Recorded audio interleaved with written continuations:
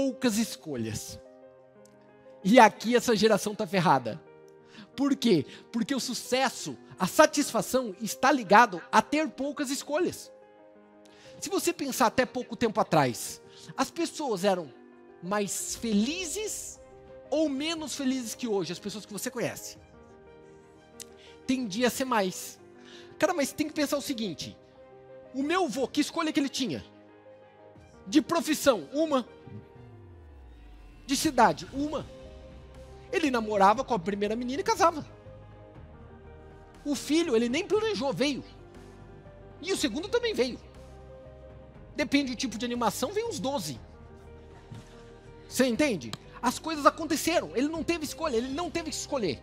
Hoje nós estamos na geração Instagram, aonde o tempo todo é muito engraçado, que parece churrascaria rodízio.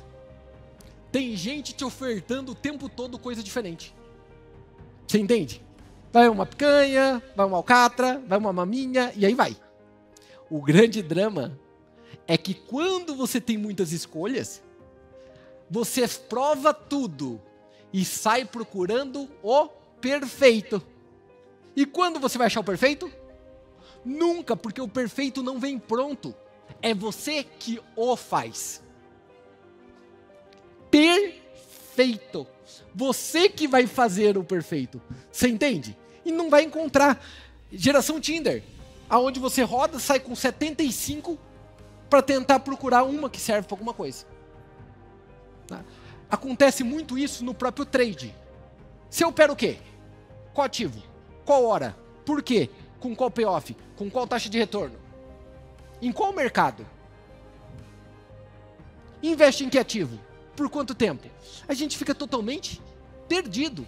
As pessoas são perdidas. Né? Quando eu fiz o livro, qual que era a ideia?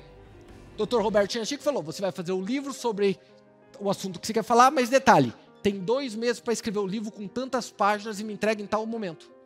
Que escolha que eu tinha ali? Nenhuma.